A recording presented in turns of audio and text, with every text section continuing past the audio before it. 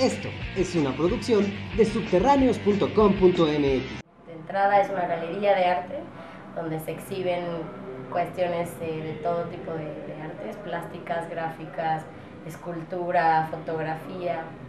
Es un multiforo donde también pasan performance, ha habido teatro, ha habido eh, danza, o sea, y bueno, pues la galería gastronómica la idea es exhibir, ¿no? Comida, como pensábamos que necesitábamos un espacio donde donde fuera concreto y tangible que la gastronomía es un arte. ¿no? La idea central de Sala 9 es, pues eso, impulsar un poco la, la posibilidad de que la gente vea cine que lo vea fuera de las salas comerciales y sobre todo que vea cine que no está usualmente en las salas comerciales. ¿no?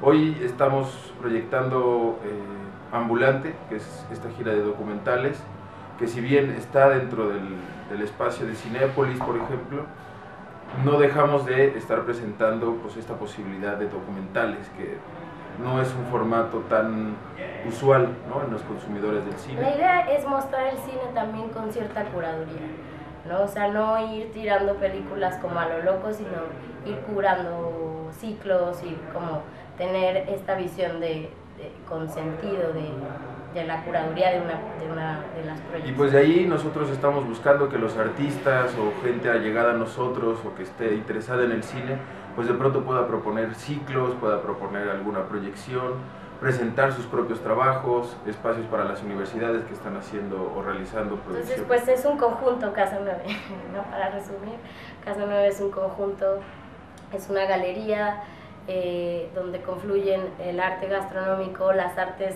gráficas, escénicas, plásticas, todo lo que se puede exhibir en un foro como el que tenemos, y sala de cine, que es sala 9 en Puebla. En Puebla yo creo que ahorita está, pues sí, en un auge interesante.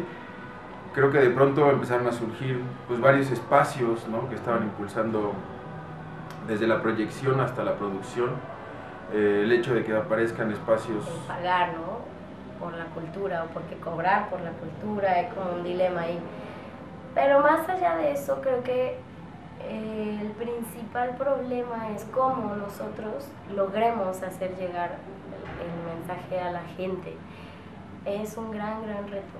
O sea, la gente cuando viene y conoce este lugar y dice, oye, pero ¿cómo? O sea, ¿por qué no sabía de esto? Nosotros queremos que suceda también aquí en Casa Nueva, es decir, el hecho de que sean estos tres espacios permite pues desde ver una exposición que pueda ser agresiva o pueda ser atractiva, hasta pues eso, la misma proyección de cine que pueda tener pues estos riesgos, pero tener el espacio de la galería gastronómica pues para que la gente también pueda compartir esas experiencias, ¿no? O sea, ese, ese punto de encuentro que finalmente también es eh, muy valorado por la comida. Bueno, ambulante, yo llevo cuatro años coordinando ambulante en Puebla eh, en realidad lo que pasó fue que Ambulante empezó a necesitar, porque creció tanto y creció tan bien, que empezó a necesitar coordinadores locales hace cuatro años.